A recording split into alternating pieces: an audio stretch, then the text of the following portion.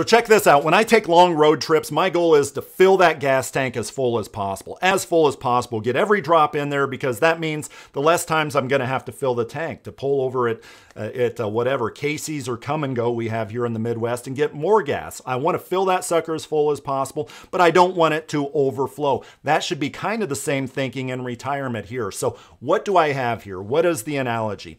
Well, on the left-hand side here, you have around $30,000. That is the standard deduction of a couple age 65 and older today. And what I did was is I modeled out that standard deduction, which is the gray area, the gray background here. I modeled that out over the next 40 year period of time for this hypothetical retirement couple.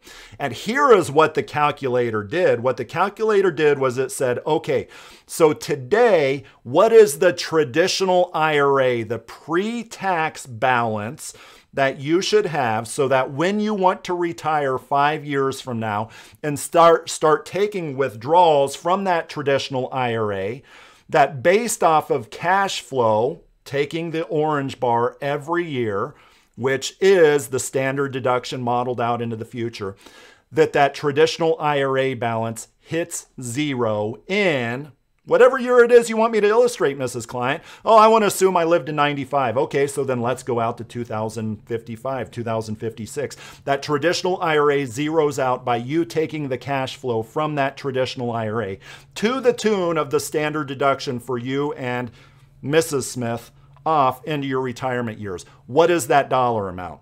That is exactly what this calculator does. And by the way, the red line down here, what's required for you to take from that traditional IRA? Well, of course, that kicks in here in the year 2032 because that is when my hypothetical client turns age 72. You can see we've satisfied here, these orange bars, we've satisfied the required minimum distributions as the years have gone by. So that's what this calculator does as Mrs. Client, based off our projections of what we think your money is going to grow by between now and retirement, what we think your money is going to grow by after retirement, you should have no more if you want to stay in a 0% tax bracket in retirement. This also includes Social Security taxation, 85% up to 85%, right?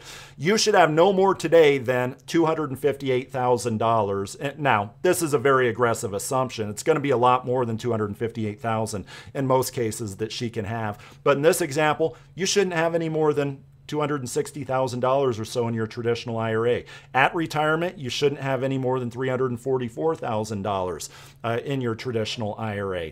Um, so you have a gazillion dollars today, maybe consider converting some to a Roth IRA. Why does she want or he want any in a traditional IRA? Well, you want some traditional IRA because you have the wonderful benefit of getting the deduction in your pre retirement years, right? But the downside is in your post retirement years, that counts as income in which you are taxed on. Or are you taxed on it? At least if your orange bars are below our gray background here. If you are not overfilling the gas tank with too much gas in retirement.